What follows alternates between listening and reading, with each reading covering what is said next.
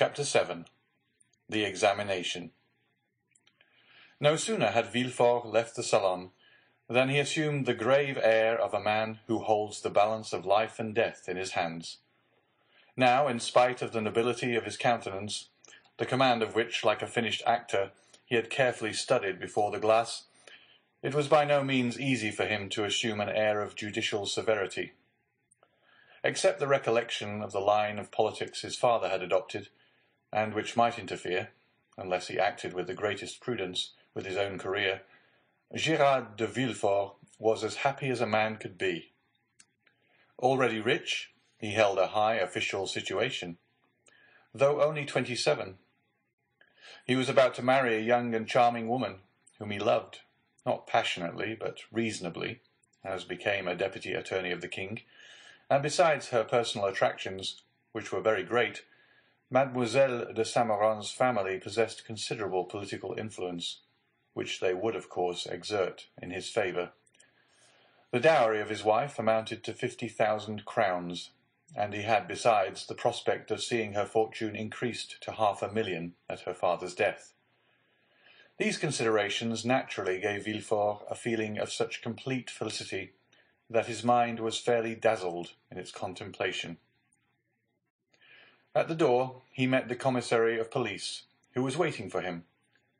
The sight of this officer recalled Villefort from the third heaven to earth.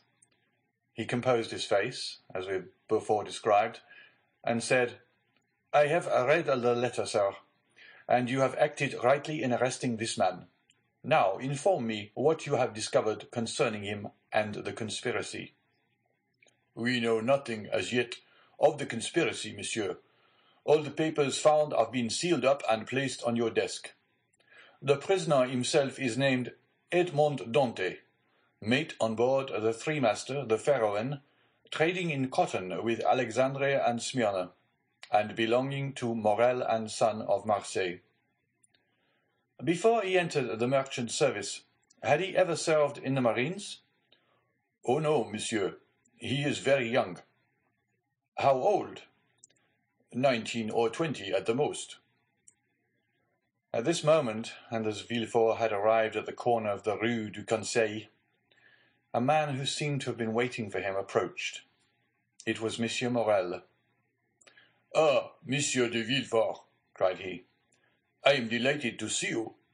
Some of your people have committed the strangest mistake. They have just arrested Edmond Dantès, mate of my vessel." "I know it, monsieur," replied Villefort, "and I am now going to examine him." "Oh," said Morrel, carried away by his friendship, "you do not know him, and I do. He is the most estimable, the most trustworthy creature in the world, and I will venture to say there is not a better seaman in all the merchant service. Oh, Monsieur de Villefort, I beseech your indulgence for him." Villefort, as we have seen, belonged to the aristocratic party at Marseilles, Morrel to the plebeian.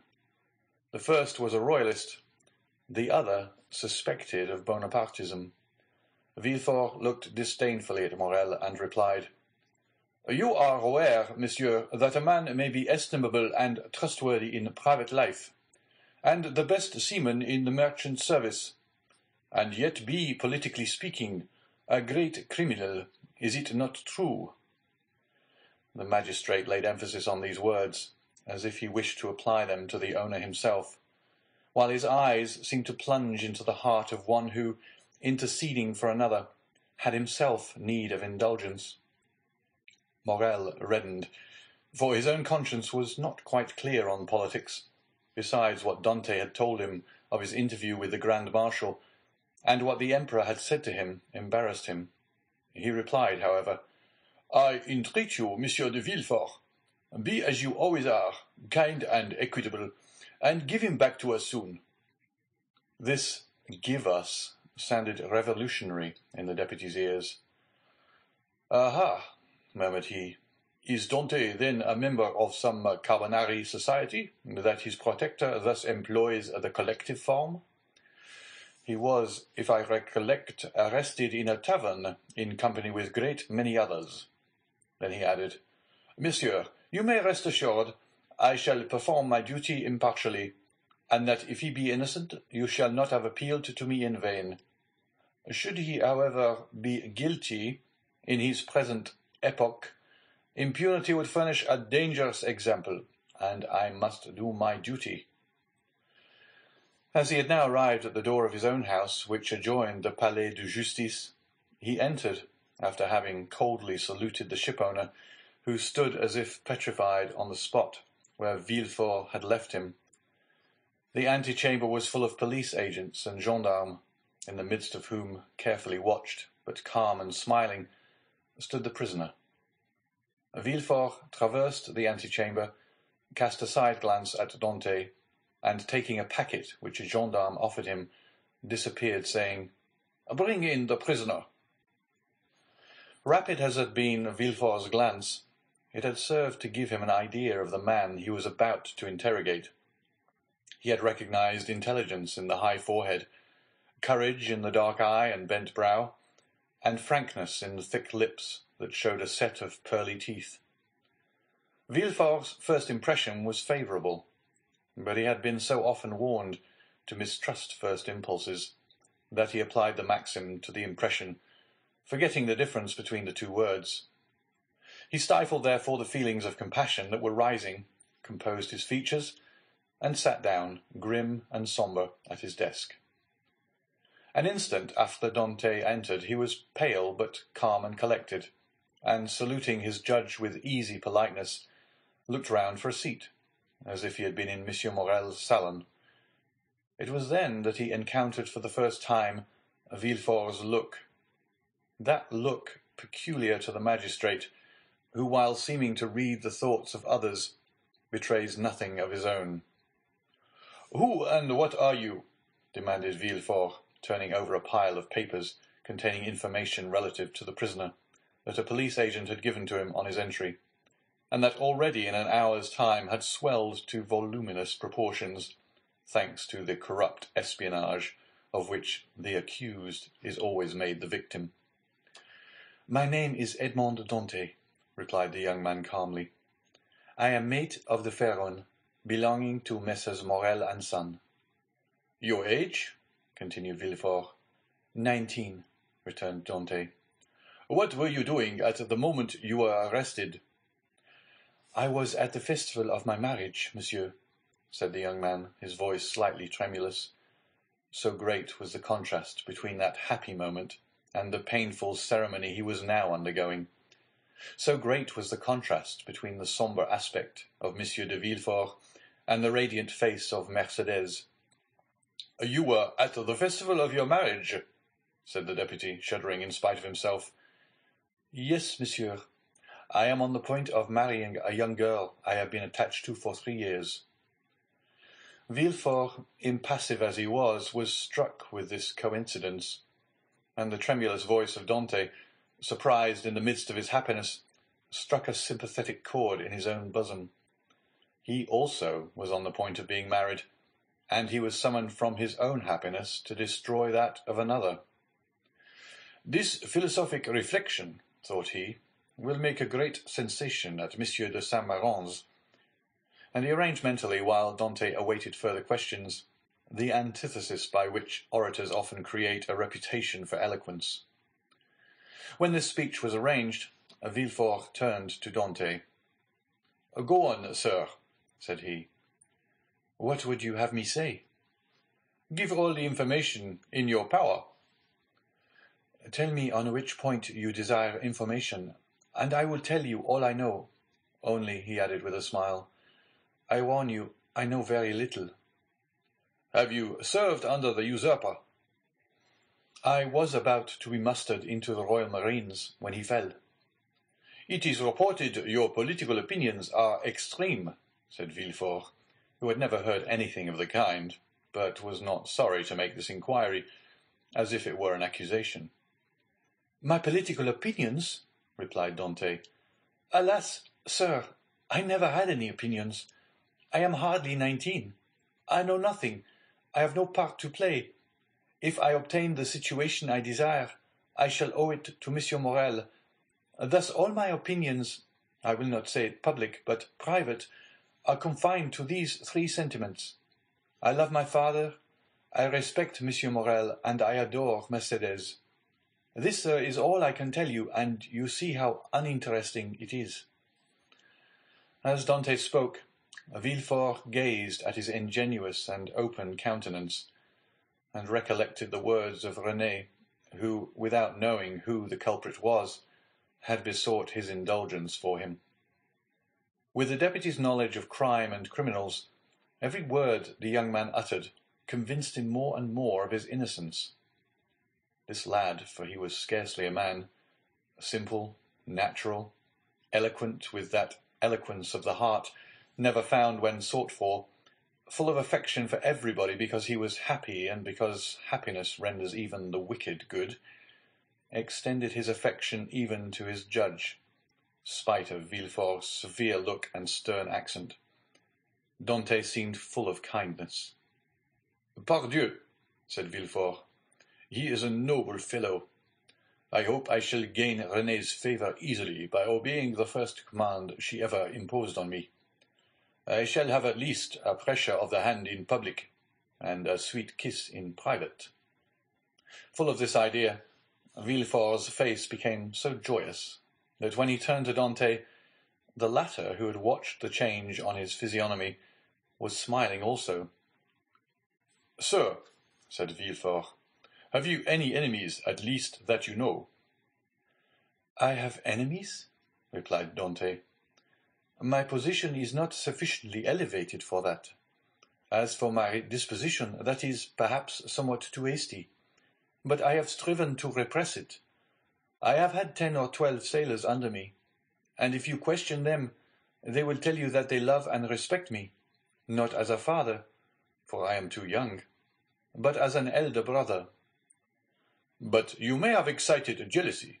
You are about to become captain at nineteen an elevated post.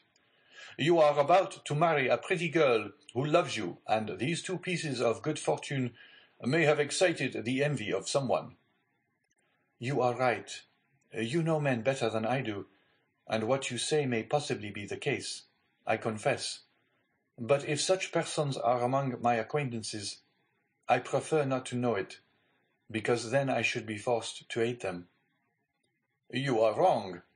You should always strive to see clearly around you. You seem a worthy young man.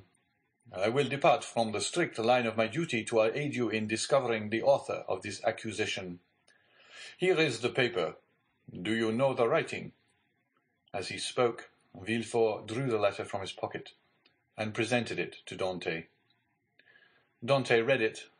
A cloud passed over his brow as he said, No, monsieur, I do not know the writing and yet it is tolerably plain.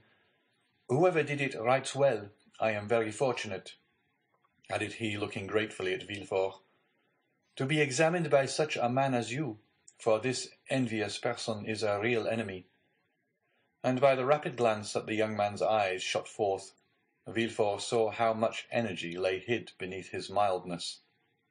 Now, said the deputy, answer me frankly, not as a prisoner to a judge, but as one man to another who takes an interest in him, what truth is there in the accusation contained in this anonymous letter? And Villefort threw disdainfully on his desk the letter Dantès had just given back to him. None at all. I will tell you the real facts. I swear by my honor as a sailor, by my love for Mercédès, by the life of my father. Speak, monsieur, said Villefort. Then internally, if Renée could see me, I hope she would be satisfied, and would no longer call me a decapitator. Well, when we quitted Naples, Captain Leclere was attacked with a brain fever. As we had no doctor on board, and he was so anxious to arrive at Elba that he would not touch at any other port, his disorder rose to such a height that at the end of the third day, feeling he was dying, he called me to him. My dear Dantès, said he, swear to perform what I am going to tell you, for it is a matter of the deepest importance. I swear, captain, replied I. Well, as after my death, The command devolves on you as mate. Assume the command and bear up for the island of Elba. Disembark at Porto Ferraio. Ask for the Grand Marshal. Give him this letter.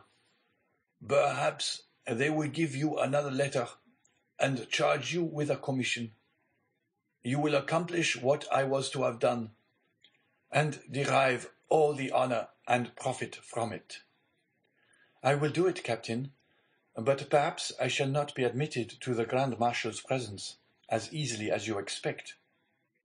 Here is a ring that will obtain audience of him and remove every difficulty, said the captain. At these words he gave me a ring.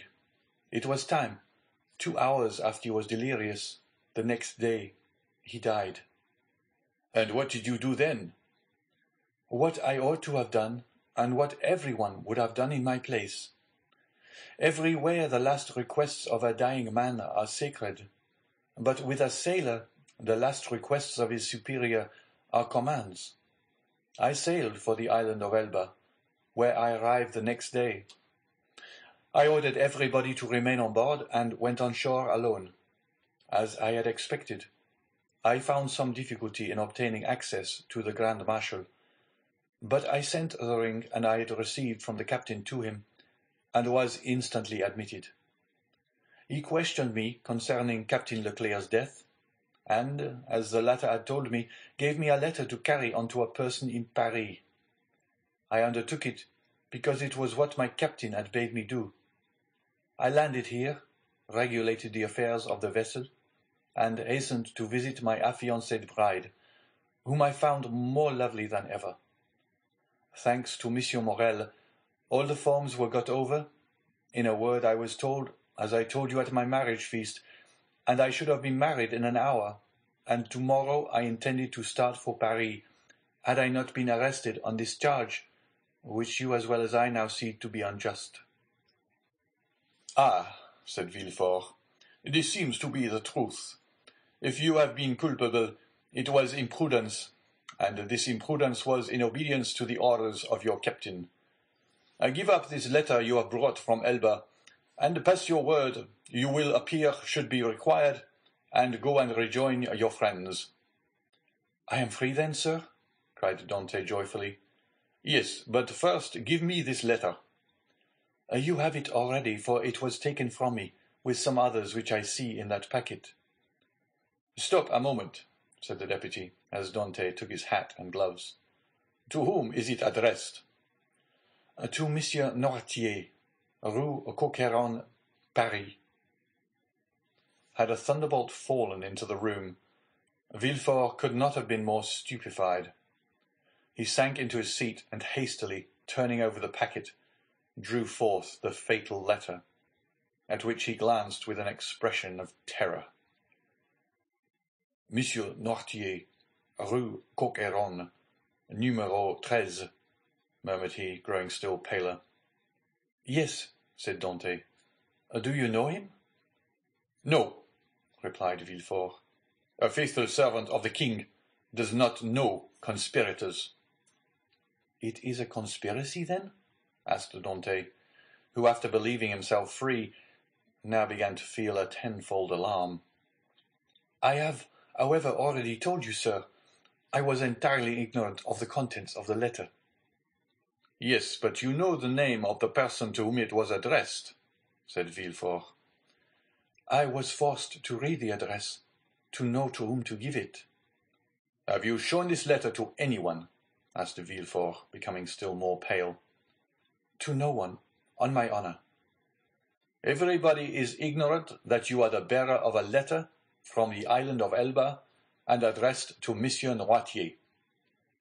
Everybody except the person who gave it to me. And that was too much, far too much, murmured Villefort. Villefort's brow darkened more and more. His white lips and clenched teeth filled Dantès with apprehension.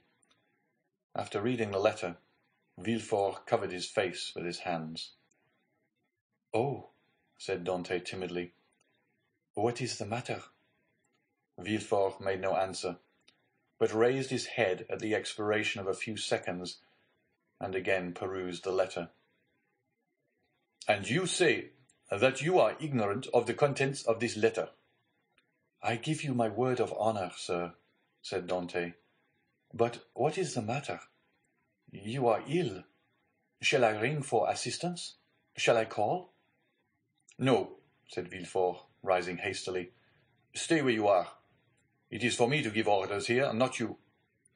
Uh, monsieur, replied Dantès proudly, it was only to summon assistance for you. I want none.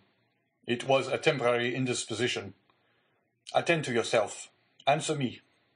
Dantès waited, expecting a question, but in vain. Villefort fell back on his chair, passed his hand over his brow, moist with perspiration, and for the third time read the letter. Oh, if he knows the contents of this, murmured he, and that Noirtier is the father of Villefort, I am lost. And he fixed his eyes upon Edmond, as if he would have penetrated his thoughts. Oh, it is impossible to doubt it, cried he suddenly. In heaven's name, cried the unhappy young man, if you doubt me, question me. I will answer you. Villefort made a violent effort, and in a tone he strove to render firm. Sir, said he, I am no longer able, as I had hoped, to restore you immediately to liberty. Before doing so, I must consult the trial justice. What my own feeling is you already know.